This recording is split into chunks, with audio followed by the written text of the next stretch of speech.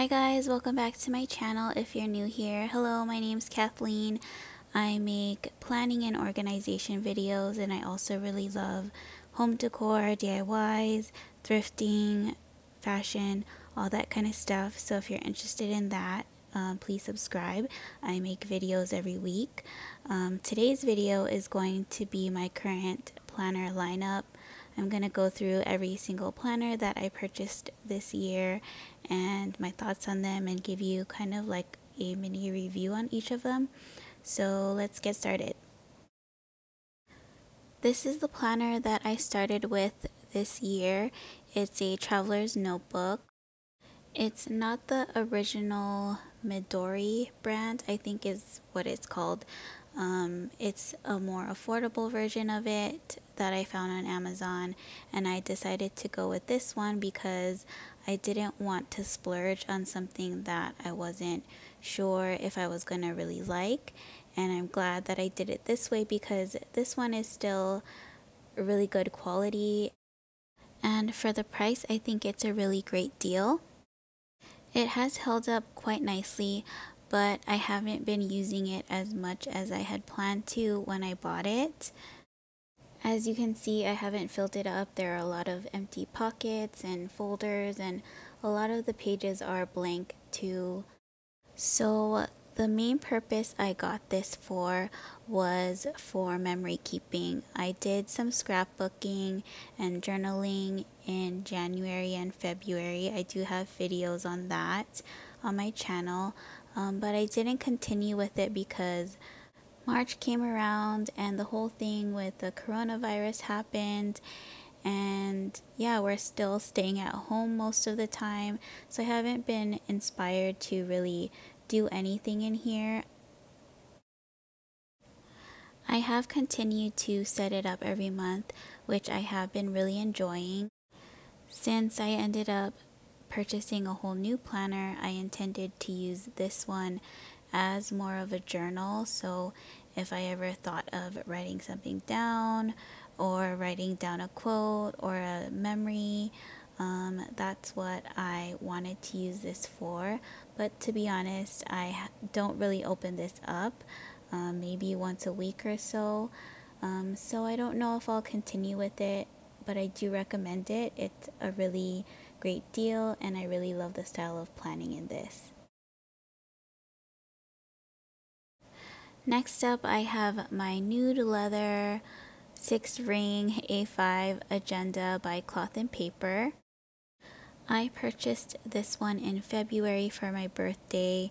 I got the planner, all the inserts, a bunch of stickers, and I set it all up, and I was so excited. Mine is looking kind of empty because I just cleaned it out, but I love this planner so much and I just love how customizable it is.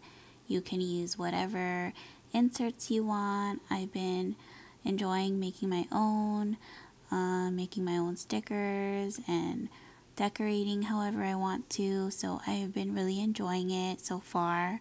Since I have been using my traveler's notebook as my memory keeping journal, this planner I use for everything else. I use it as my work planner, my personal planner, my goal planner. I use it for keeping track of my eBay business, my bills, and yeah, just everything. The size is way more than what I need. My planning style is very minimal and I honestly don't have a very hectic, busy schedule working from home, so I'm not sure if I'll continue to use this, but I really do love it. I think Cloth and Paper is a really great brand. Their products are really good quality. Um, their customer service is amazing, which I really appreciate. And yeah, I just love the aesthetic and their look and I love everything that they come out with. So I do recommend uh, this planner if you're interested. They have other sizes and yeah, those are my thoughts on this planner. This is what it's looking like now after a couple months of using it. It has gotten a little bit dirty. It's fine though, I just wipe it down. Um, and a lot of the inserts I use are from Infinite Lotus and Elmon Paper Co. And I also like to make my own. So yeah, that's what I've been using this planner for and I really like it. This one I am for sure going to keep and I'm going to continue to use. It's my Louis Vuitton PM Agenda and I am obsessed. I use it as a wallet and as an on-the-go planner. I'll show you what I keep inside and I'll talk about what I use it for. Um, but this is what the outside looks like. So I keep my cards and my IDs there in the pockets. I just take them out when I am filming a video. I have a video setting this up um, if you want to see exactly what's inside, but all of my accessories I got from Cloth and Paper and all of my inserts I got from Infinite Lotus. I love the way that I set it up and I really like using it as a wallet. Um, because the rings are so tiny, I can't fit much planning inserts in there. I have a couple dividers, um, some dashboards, a few pockets, and then just a few inserts. I have my calendar insert, um, and then I think maybe two or three additional inserts. For planning, I usually will use this if I need to keep a to-do list with me. It's usually when I'm out running errands. I like to have a list of all the places I need to go to, um, if I have any appointments or if I need to make any returns or go anywhere that I need to remember.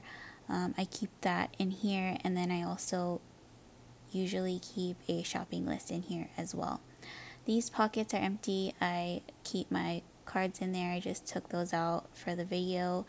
Um, and then in the last pocket, I have all my stamp cards, gift cards, um, business cards, things like that. So that's what I use this for, and I am for sure not getting rid of this planner. I love it so much. So that's it for this video. I hope this explains why I have multiple planners and what I use them for. If you like this video, please give it a thumbs up. Don't forget to subscribe if you haven't already. Follow me on Instagram for more planner inspiration. And I'll see you next time. Bye guys.